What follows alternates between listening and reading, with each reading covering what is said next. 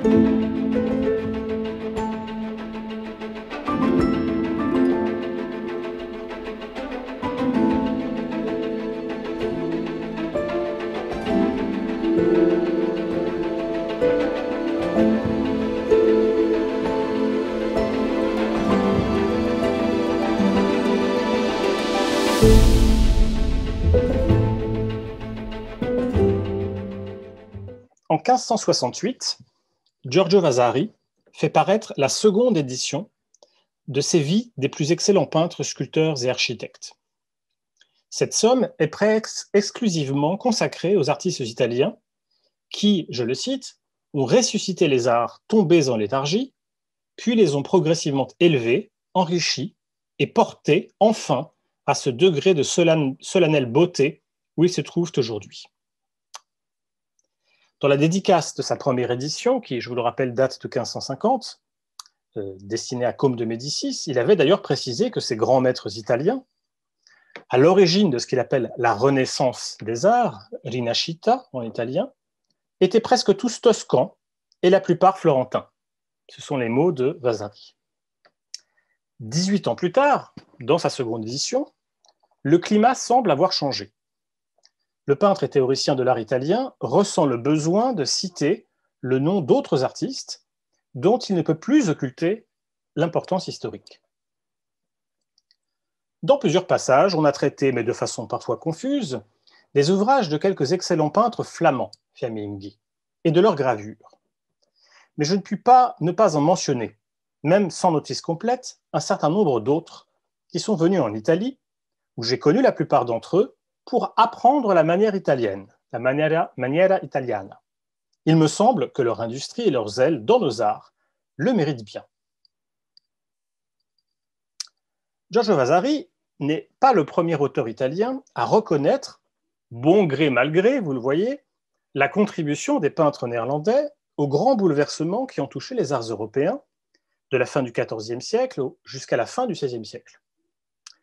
Une grande partie du chapitre qu'il a hâtivement rédigé afin de rendre hommage, je cite, aux divers artistes flamands, diversi artifici fiamminghi, est fondé, on le sait, sur les lignes que l'historien florentin Lodovico Guicciardini leur avait consacrées deux ans plus tôt dans sa description de tous les Pays-Bas, autrement dit Germanie inférieure, donc en 1566. Mais l'intérêt des Italiens pour l'art des Flamands, nous reverrons euh, les limites de ce terme, est plus ancien encore.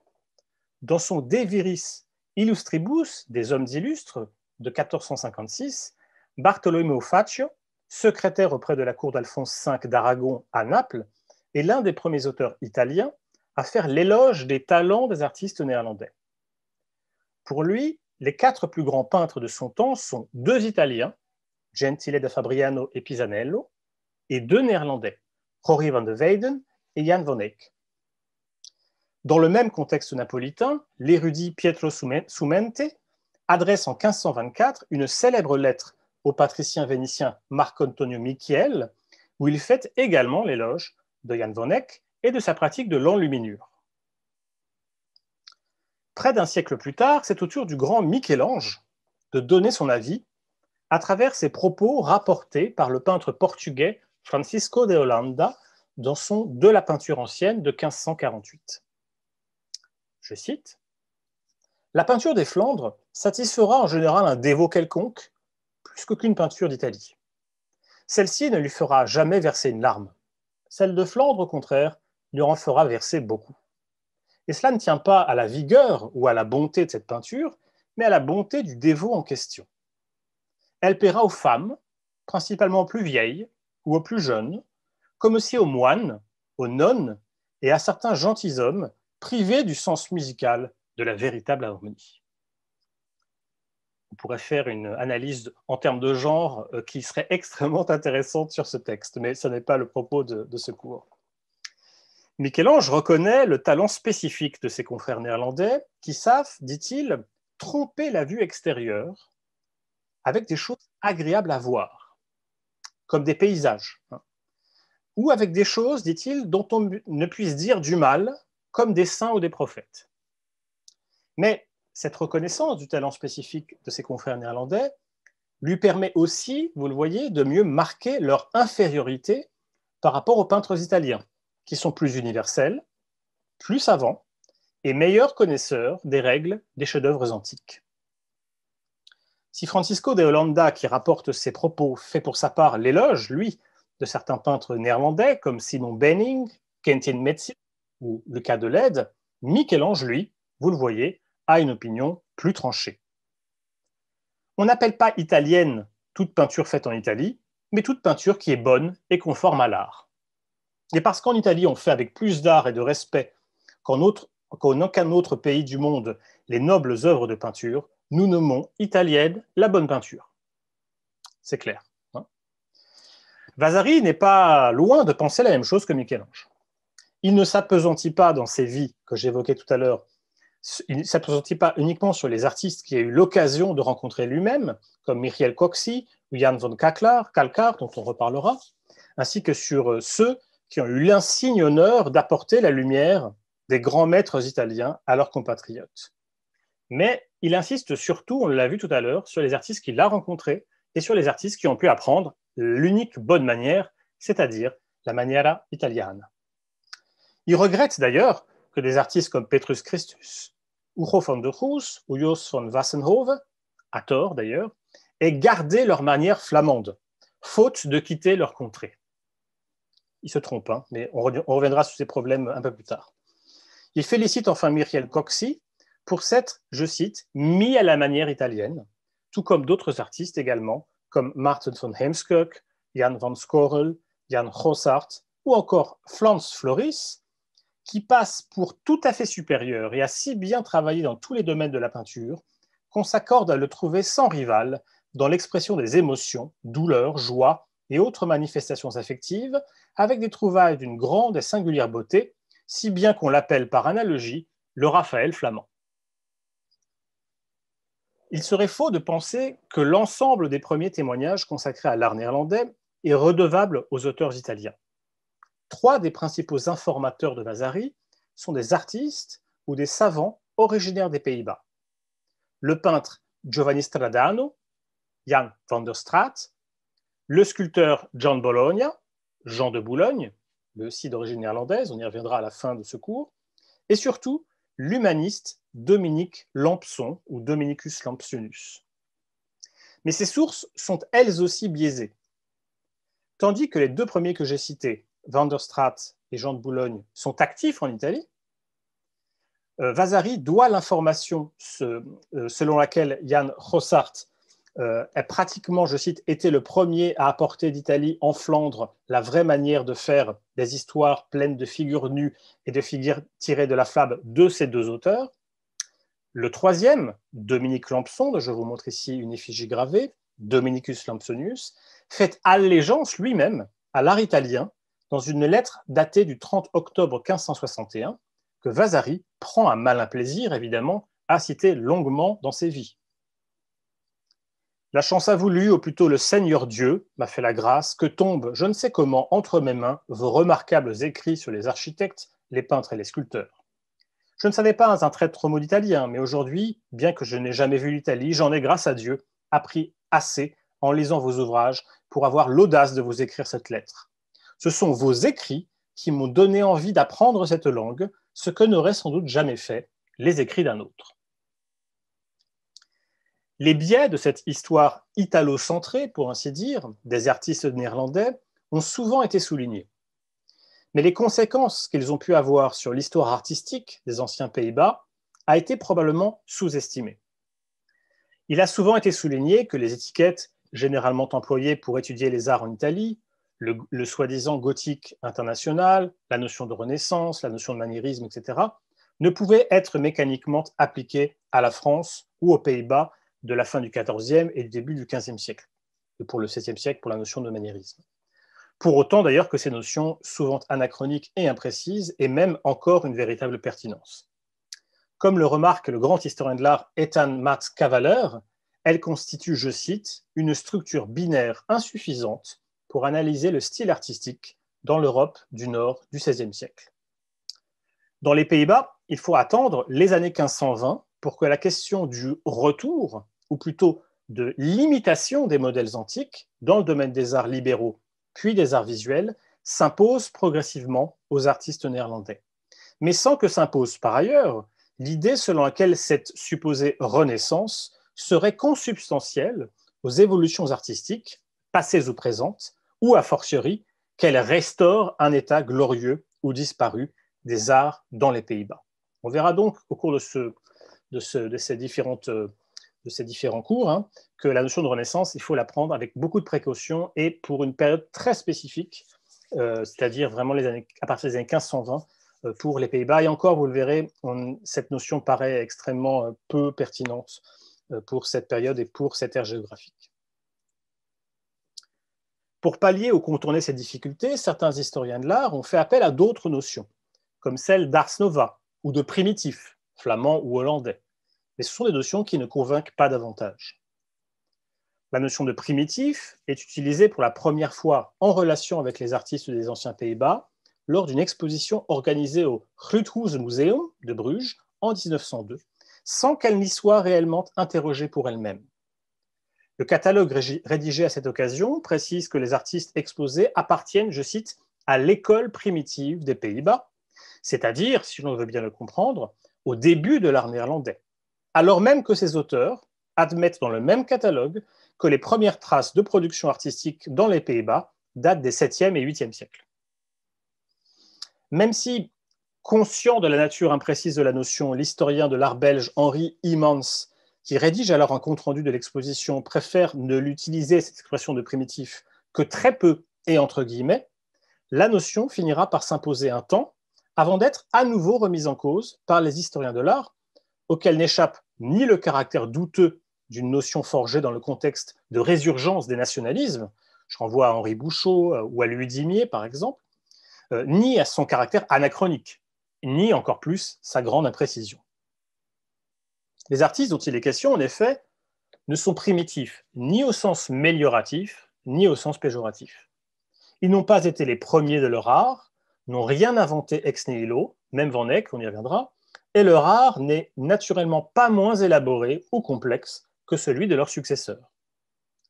Quand il évoque les œuvres de Géronymus Bosch dont les dérivations sont encore populaires en son temps, donc au début du XVIIe siècle, le peintre et théoricien arlémois Karel van Mander ne parle pas d'un art primitif, comme on l'a parfois écrit, parfois écrit pardon, mais d'un art précoce. C'est le terme utilisé, c'est fruch, terme positif que van Mander utilise également au sujet de nombreux artistes du XVe et du XVIe siècle. La notion d'ars nova a été appliquée par Erwin Panofsky pour décrire un supposé courant artistique ayant émergé durant le premier tiers du XVe siècle, qui se serait développé à travers les nombreux échanges entre les artistes néerlandais et les marchands étrangers, et qui aurait, pour ainsi dire, introduit au sein du langage artistique des Pays-Bas un illusionnisme rompant de façon radicale avec l'art supposément sophistiqué ou élégant du supposé gothique international. La notion d'ars nova a pendant longtemps séduit les spécialistes, notamment parce qu'elle, cette expression latine, empruntée au langage musical du XIVe siècle, en particulier dans le nord de l'Europe, pouvait donner le sentiment d'une authenticité historique et d'un ancrage plus fort dans le territoire des anciens Pays-Bas. Effectivement, la notion d'ars nova, art neuf, art nouveau, apparaît vers 1322 dans un traité de musique écrit par le célèbre Philippe de Vitry pour désigner ensuite l'ensemble de la production musicale française du XIVe siècle par opposition aux productions du XIIIe siècle, qui sont, elles, placées sous la bannière de l'ars antiqua, art ancien ou art antique. Toutefois, comme celle de primitif, la notion d'ars nova peut être également remise en cause, tant dans le domaine de l'histoire de la musique que de celui des arts. Comme l'a récemment montré la musicologue Anne-Zoé Rillon-Marne, je cite, Les bases de ce découpage relève davantage du formatage des historiens que de la perception et du regard des médiévaux sur leur production. L'articulation ars nova, ars antiqua s'appuie sur l'idée d'une rupture théorique produite par les évolutions de la pratique et dont les nouveautés alimentent l'imagination des compositeurs modernes. Je vous renvoie à cet article extrêmement intéressant qui montre que c'est une notion fabriquée a posteriori et qui ne décrit donc pas la réalité des pratiques musicales de cette période. De plus, il est frappant de constater que la Lars Nova reconduit finalement les mêmes biais que ceux qu'induit la notion de renaissance. Il s'agit de faire comme si l'art néerlandais du début du XVe siècle était, je cite Panofsky ici, quelque chose de distinctement nouveau, une sorte de miracle, pour ainsi dire surgi du néant, ressemblant à une sorte de rupture cognitive ou de révolution optique, pour paraphraser une exposition récente sur Van Eyck. Alors même que l'on sait que l'émergence de peintres comme Robert Campin, Jan Van Eyck ou Roy van de Weyden n'a été possible qu'à la conclusion de lents et profonds changements qui se sont développés dans l'art des anciens Pays-Bas depuis de nombreuses décennies. On y reviendra également. Dans le domaine de la sculpture, ces évolutions sont notables dès le premier tiers du XIVe siècle, avec notamment une nouvelle attention portée à l'observation de la nature. Jean Pépin de Huy en est l'un des meilleurs exemples. Originaire d'un village près de Liège, il est le premier sculpteur néerlandais important à faire carrière à Paris. En 1312, il y est mentionné comme sculpteur spécialisé dans la fabrication de pierres tombales, ce que l'on appelait alors un tombier, alors qu'il travaille pour Mao d'Artois. Quand son fils Robert, le fils de Mao d'Artois, le seul héritier du comté d'Artois, meurt au début du mois de septembre 1317, Mao d'Artois organise de somptueuses funérailles et charge Pépin, avec d'autres sculpteurs, de la réalisation du tombeau. Le gisant sculpté par Pépin est livré en 1320 et installé dans l'église parisienne des Carmélites déchaussés. Pas plus que pour l'art euh, néerlandais du XVe ou du XVIe siècle, ici, les notions de réalisme ou de naturalisme ne sont pertinentes pour analyser le gisant sculpté par Pépin. La tête nue de la figure, qui repose sur un coussin sans le déformer, n'est guère individualisée, même si Pépin a restitué la jeunesse de ses traits. Les pupilles ne sont pas creusées, les boucles des cheveux et les volutes de la côte d'armes s'entourent et s'enroulent de façon artificielle en suivant des lignes géométriques. Et les doigts des mains, strictement parallèles, sont fortement stylisés, comme les éléments qui composent l'armure et le bouclier. Cette forte idéalisation hiératique permet de rapprocher le gisant de Robert de celui d'autres figures importantes de la maison d'Artois, comme Louis d'Evreux, l'époux de Marguerite d'Artois. Elle est toutefois pondérée par un certain sens du détail, notamment dans le traitement de la chemise, dont les mailles laissent deviner la forme des avant-bras et retombent de façon convaincante sur le ventre de la figure. Ce détail, le seul qui traduise véritablement le poids du corps, permet de conférer une certaine présence physique au fils de Mao, ici, immortalisé dans la pierre. Les mêmes efforts sont perceptibles chez d'autres sculpteurs néerlandais proches de Pépin, comme André Bonneveux ou Jean de Liège. Originaire de Valenciennes, qui appartient alors au domaine royal, après avoir fait partie du comté de Hainaut, le premier, donc André Bonneveux, est mentionné pour la première fois en 1359 dans les livres de comptes de Yolande de Dampierre, duchesse de Bar et veuve du duc Henri IV de Bar. Celui que l'on nomme dans les inventaires et les archives Maître André le peintre est cité parmi les artistes intervenant dans la décoration d'une chapelle du château de Nieppe dans le comté de Flandre. Entre octobre 1364 et juin 1366, Beauneveu travaille ensuite à Paris pour le compte de Charles V. Entre 1374 et 1377, André Beauneveu repart dans les Pays-Bas, à Courtrai, pour œuvrer lui aussi comme tombier auprès de Louis de Malle, comte de Flandre. En 1386, enfin, il s'installe à Bourges, où il est l'imagier euh, de Jean de Berry. Cette fonction, associée au titre de, je cite, surintendant de toute peinture et de sculpture, montre que l'artiste est aussi bien actif comme peintre que comme sculpteur. Chez Beauneveu, l'attention accordée à l'individualisation est accentuée par rapport à Pépin, comme en témoignent les quatre tombes royales qu'il sculpte entre 1364 et 1366 pour l'abbaye de Saint-Denis. Le visage de Jean de Lebon, ici, est animé d'un léger sourire et de, des boucles de sa, chevelure qui tombent en cascade sur le coussin. Celui de son père, Philippe VI de Valois, est plus bouffi et expressif, avec un menton et une bouche qui semblent comme crispée. Le drapé souple et fluide des robes, qui tombent de manière assez cohérente autour des corps, accentue l'impression de présence des deux figures, tout comme les deux coussins, qui semblent légèrement ployés sous le poids de la tête. Aucune de ces œuvres, toutefois, n'est un portrait au sens propre du terme. Au moment où Beauneveu reçoit la commande, Philippe VI est d'ailleurs mort depuis 14 ans. et ayant été sollicité après la mort de Jean le Bon, on ne sait si le sculpteur a eu l'occasion d'accéder à la dépouille royale. Comme c'est souvent le cas à l'époque, l'artiste a donc travaillé à partir de représentations antérieures, probablement aussi peut-être des masques mortuaires. Pour Beauneveu, il s'agit de figer la vie dans le marbre plutôt que de représenter une supposée réalité. Les mains représentées non pas plaquées contre le corps mais relevées, comme en suspens, permettent d'exprimer comme un mouvement. Mais ce mouvement, parfaitement identique pour les deux statues, apparaît davantage comme un geste rhétorique que comme une réelle animation du corps. Les corps, à cet égard, importent mieux que les visages couronnés, comme le montre leur grosseur relative comparée au reste du corps ou encore les pupilles aveugles qui les inscrivent dans une forme d'éternité, mais qui leur enlèvent aussi un effet de vie. Les mêmes préoccupations prévalent enfin dans l'œuvre d'un troisième sculpteur néerlandais de l'époque, Jean de Liège. On ne sait s'il a été formé par Jean Pépin de Huy, originaire de la même région des Pays-Bas, euh, et on sait si cette formation éventuelle a eu lieu avant ou après son installation à Paris, ou si Jean de Liège s'est simplement contenté d'imiter l'art d'un des sculpteurs néerlandais les plus en vue de la cour de France.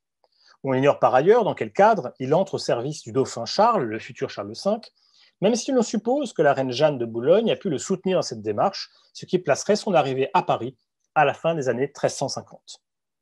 Entre 1366 et 1367, Jean de Liège séjourne à Londres et réalise la tombe de la reine Philippa de Hainaut, épouse d'Édouard III, pour la chapelle d'Édouard le Confesseur, dans l'abbaye de Westminster. À l'occasion de cette commande, il invente un nouveau modèle de tombeau en ornant les faces latérales de la base de 32 figures de pleurants. Le, succès de cette formule conduira le sculpteur à l'adopter dans les œuvres qu'il réalise à son retour en France.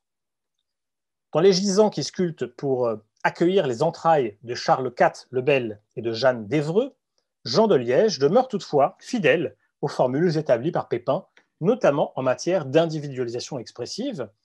Le traitement du drapé, en revanche, est plus complexe que chez ses prédécesseurs. Plus nombreux et plus souples, les plis suivent davantage les formes des corps et de la base sur laquelle ils sont posés. Cette légèreté des matières, qui permet de mieux inscrire les figures dans l'espace environnant, explique peut-être le succès de ces gisants qui ensuite font l'objet de répliques pour l'abbaye de Saint-Denis. Chez les peintres néerlandais ou actifs dans les anciens Pays-Bas, comme Jan Bondol, les évolutions iconographiques et formelles sont également notables dès le milieu du XIVe siècle.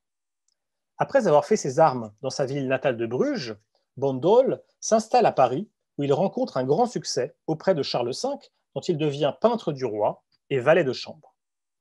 En 1368, le roi lui offre une maison à Saint-Quentin qui appartient au domaine royal et se trouve à quelques encablures du comté de Hainaut, ce qui permet à Bondol de continuer d'entretenir des relations étroites avec l'art de ses compatriotes. Sa pension annuelle élevée, 200 livres parisis, montre également l'estime dont il bénéficie, tout comme en 1380 la décision royale de lui octroyer une pension à vie. Les fonctions de peintre du roi et de valet de chambre sont en elles-mêmes fort prestigieuses. Elles permettent à celui qui en bénéficie de se rapprocher du prince en entrant dans la maison royale et en fréquentant sa famille et son entourage. En France, où il est souvent appelé Hennequin de Bruges, comme dans les Pays-Bas, où il est mentionné comme Jean le peintre de Bruges, Bandol est perçu comme un artiste proprement néerlandais. Il est vrai que si les échanges artistiques entre la France et les Pays-Bas sont anciens et nombreux, Bandol joue un rôle essentiel dans la mise en place de nouveaux modèles compositionnels, chromatiques et expressifs, dans la peinture française, de la seconde moitié du XIVe siècle et en particulier dans la peinture de manuscrits. S'il serait anachronique, comme on l'a souvent fait, de parler de réalisme pour qualifier les traits euh, que le peintre ici donne au donateur de la grande Bible historiale dans sa miniature liminaire, les efforts d'individualisation expressive y sont certains, tout comme la volonté de construire un espace cohérent et dynamique. Ces principes artistiques sont également appliqués dans les six tapisseries de la tenture de l'Apocalypse, dite Apocalypse d'Angers, depuis le legs testamentaire de la tenture à la cathédrale d'Angers par René d'Anjou en 1461, dont Bondol réalise le dessin d'après un manuscrit du XIIIe siècle provenant de la librairie de Charles V, et donc des, des tapisseries qui sont tissées dans plusieurs ateliers parisiens, dont celui de Robert Poinçon, sous la direction du marchand tisserand Nicolas Bataille. D'autres peintres néerlandais ou ayant entretenu des relations étroites et fréquentes avec les artistes et les commanditaires néerlandais partagent les mêmes options esthétiques que Jan Bandol. C'est le cas par exemple de Jean Lenoir, que l'on identifie aujourd'hui à celui du maître de la, de la Passion et qui collabore avec Bandol sur la décoration du bréviaire de Charles V entre la fin des années 1340 et les années 1360. La carrière de Lenoir commence auprès de Yolande de Flandre vers 1331 peu avant que cette dernière, très jeune, n'hérite de la seigneurie de Dunkerque, puis n'épouse Henri IV de Bar. À la fin des années 1350, ce peintre est ensuite mentionné en compagnie de sa fille Bourgault, également peintre, au service du roi Jean le Bon. La dernière partie de sa carrière est liée à Jean de Berry, pour lequel il continue de travailler après son installation à Bruges, au plus tard en 1375. À l'image des décors qu'il peint ici pour le psautier de, Bonne de Luxembourg, le noir, qui a été souvent et justement comparé à Jean Pucelle, présente également de nombreux points communs avec les artistes ayant travaillé pour la duchesse de Normandie ou son, époux avant et après l'accession de ce dernier au trône de France. Il fait en effet preuve d'une grande finesse dans l'observation des détails, souvent issu d'une étude directe et méticuleuse de la nature, mais aussi un goût marqué pour les figures fortement animées et expressives, aspect que l'on retrouve également dans les productions des, ou des maîtres de la Bible de Jean de Sy ou du maître de, euh, du remède de fortune.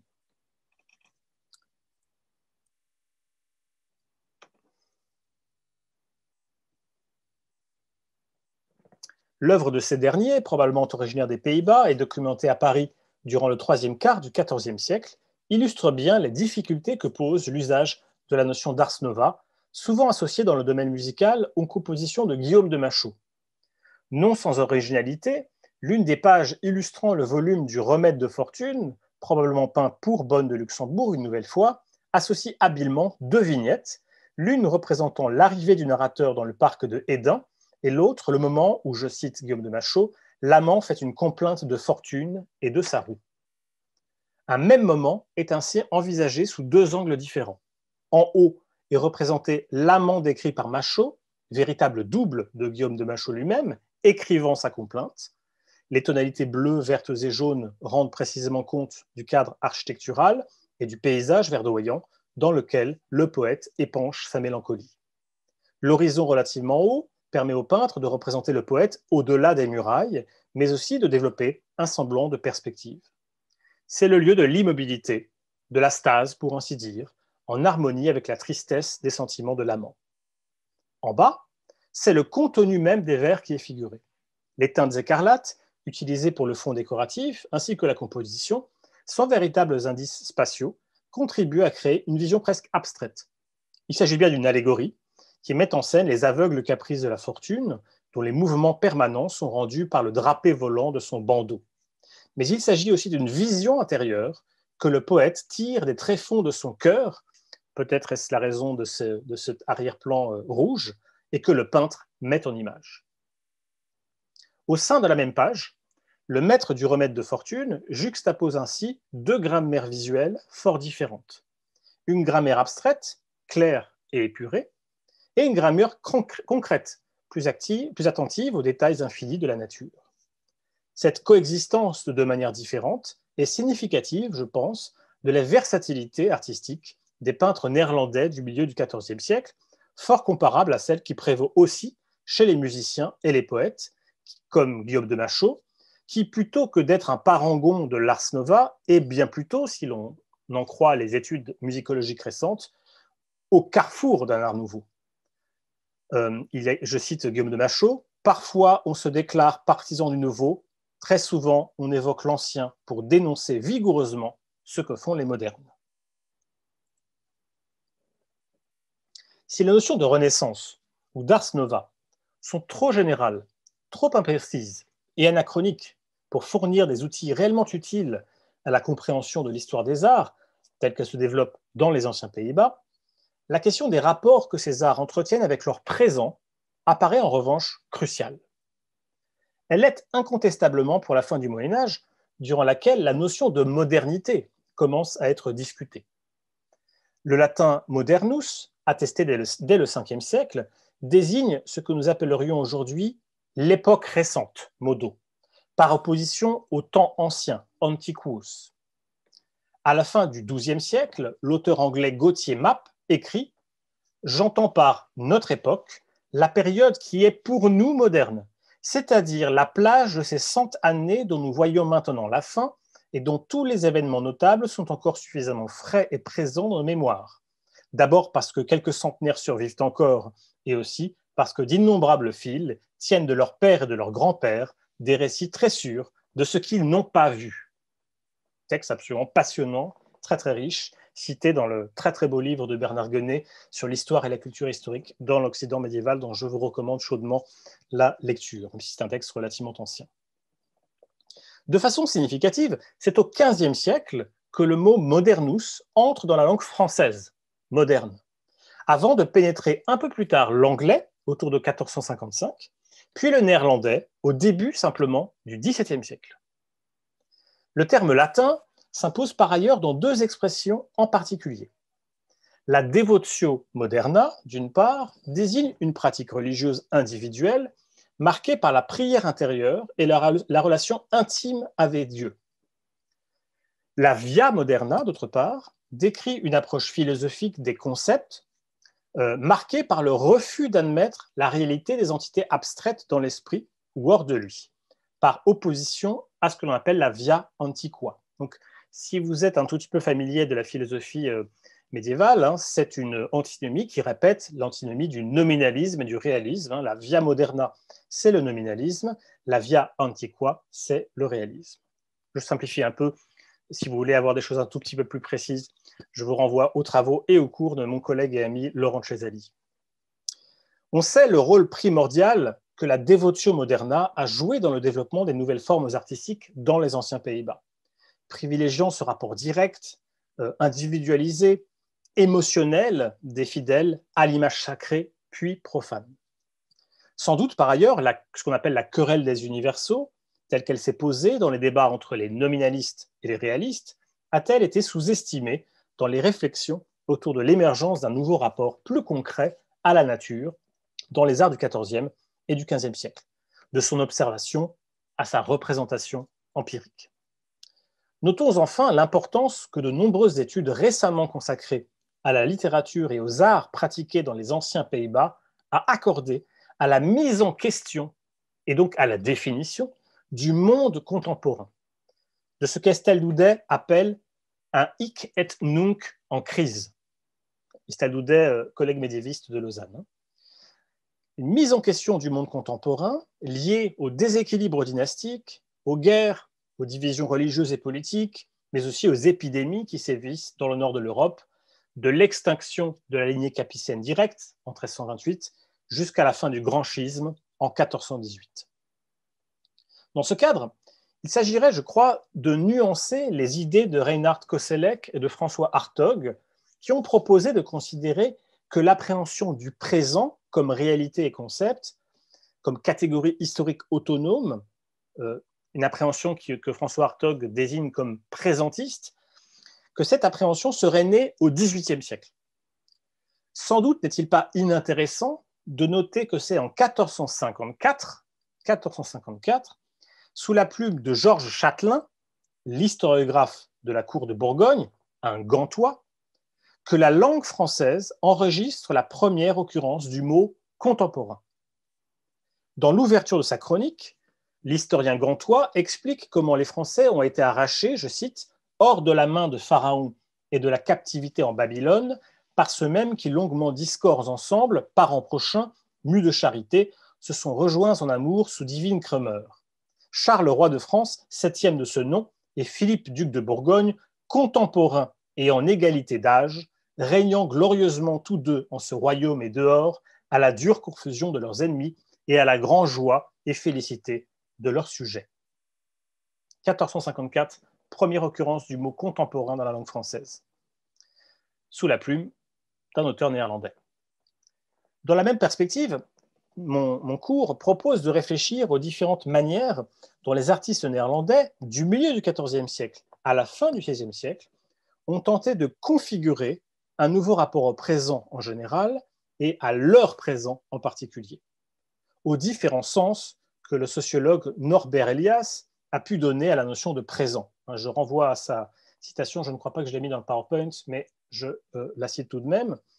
La notion de présent caractérise la manière dont le temps est déterminé par un groupe humain vivant et suffisamment développé pour rapporter toute séquence d'événements, peu importe qu'elle soit d'ordre physique, social ou personnel, au devenir auquel ce groupe est lui-même soumis.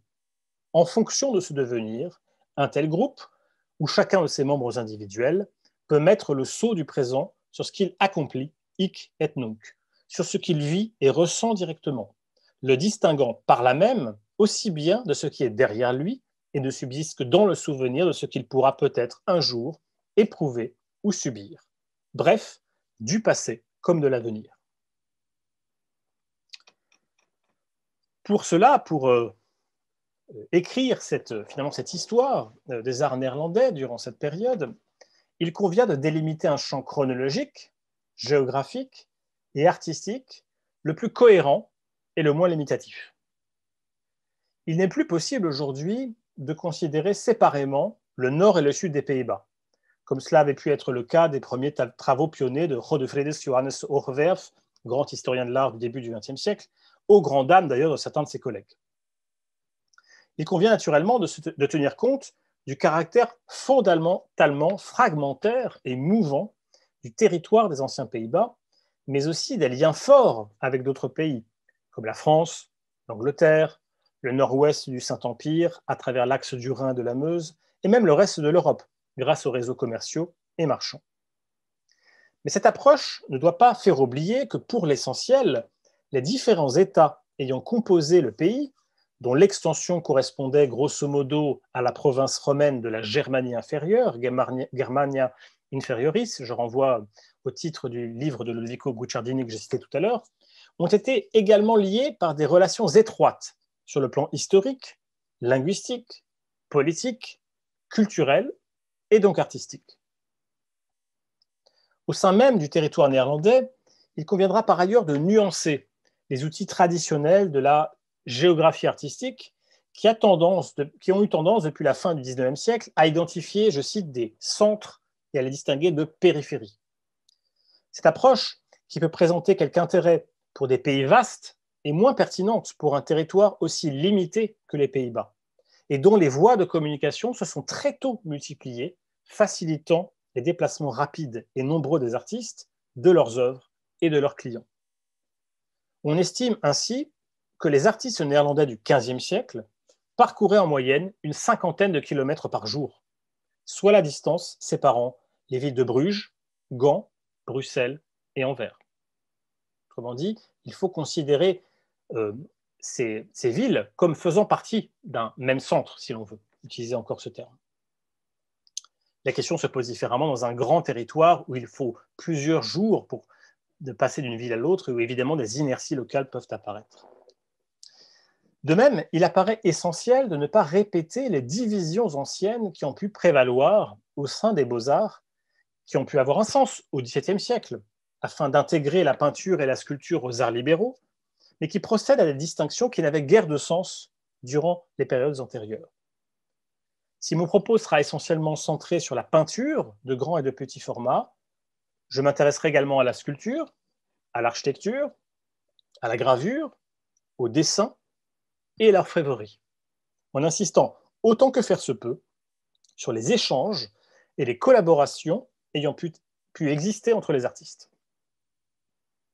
Enfin, comme nous l'avons vu, il n'est pas souhaitable de séparer de façon artificielle la fin du XIVe et le début du XVe siècle, qui aurait vu le passage graduel d'un gothique international à une ars nova, ou la fin du XVe et le milieu du XVIe siècle, durant lequel aurait eu lieu l'avènement d'un supposé romanisme ou d'un supposé maniérisme. Je reviendrai sur ces termes hein, qui posent d'énormes difficultés, on le verra, même assez amusant.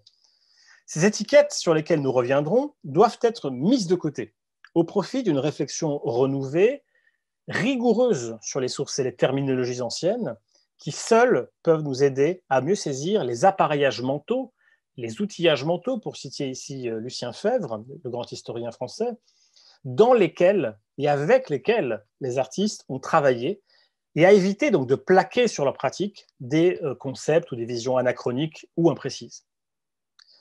Je propose de fonder cette étude sur une division chronologique suivant de près les évolutions politiques ayant agité l'histoire des anciens Pays-Bas et dont le rôle a souvent été décisif dans l'évolution des pratiques artistiques. Ainsi, la première partie euh, de ce cours sera consacrée à la grande principauté de Bourgogne.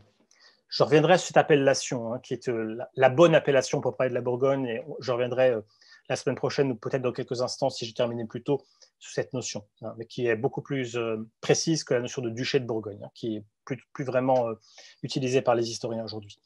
Donc, on, se consacrera donc à la grande principauté de Bourgogne, successivement régie par Philippe le Hardy et Jean sans peur, ce sera donc la semaine prochaine, le 2 mars, puis par Philippe le Bon, le 9 et le 16 mars, et Charles le Téméraire, le 23 mars. La deuxième partie évoquera le moment d'entrée des Pays-Bas dans le Saint-Empire, du gouvernement de Philippe le Beau, on en parlera le, le 30 mars, à la majorité de Charles Quint, le 13 avril, après les vacances de Pâques. Les deux derniers chapitres, enfin, aborderont les divisions qui se feront jour à partir de la mort de Marguerite d'Autriche, on en parlera le 20 avril, et surtout du compromis des nobles le 4 mai, et qui donneront lieu finalement à l'acte de La Haye en 1581 et à l'indépendance des sept provinces unies qui composent alors la partie septentrionale des Pays-Bas.